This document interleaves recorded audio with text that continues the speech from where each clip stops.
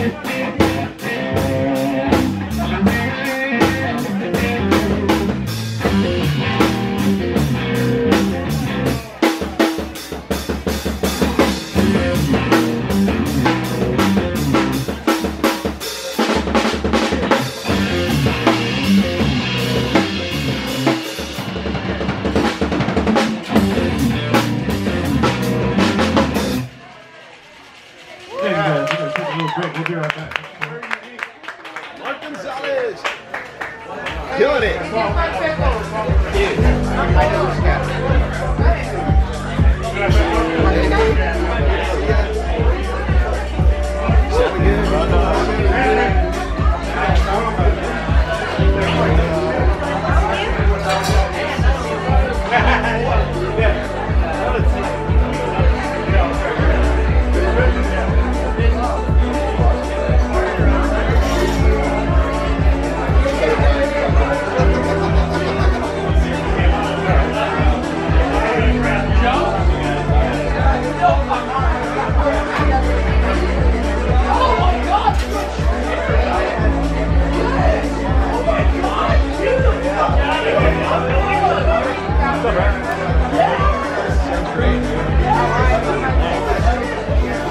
Ah.